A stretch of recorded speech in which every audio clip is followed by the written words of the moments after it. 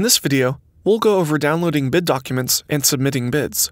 If you've been invited to bid on a project, you'll receive an email with the subject, invitation to bid on, and then the project name. In order to bid, you will need to be the original bid invitee, so if this email has been forwarded to you and you try to access the bid, you will not see the bid package. If you have problems accessing the bid package, please contact your point of contact at the company who sent the bid invitation and request that they add you to the company directory. For security reasons, Procore's customer support department cannot give you login credentials. Here, we are seeing the email sent to Paul, a plumbing contractor. This email displays all of the relevant information pertaining to the bid. At the top of the email, we will see the name of the company and the name of the company's project that Paul has been invited to bid on. Here we will see bid details such as the package name, who the invitation was sent by, and when the bid is due. Below that, there is additional bid information and messaging, as well as the cost codes Paul has been invited to bid on.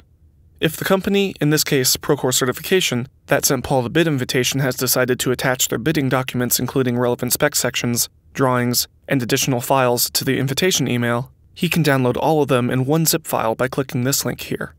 If the files are not attached here, he will be able to access them from the bid sheet in Procore. In the email, we will notice two buttons that will allow him to inform the bid administrator whether or not he will be bidding on the project directly from the email. If he does not plan to bid on this project, he can simply click No, and the process is done. If he does plan to bid on the project and will submit a bid at a later time, we recommend clicking Yes so the contractor will know to expect the bid before the due date. To place his actual bid, he'll need to log into Procore. If we need help submitting a bid or downloading the bid documents, the Instructions for Bidding section will give us all the information we need. To log in, new users will want to click the link, View Bid Package and Submit Bid in Procore. This will prompt them to create a username, which is the email address that received the invitation to the bid email, and to create a secure password for their account. Existing users can click here in the indication to bid message to log into Procore and then be directed to the project's bid sheet in the project owner's plan room tool.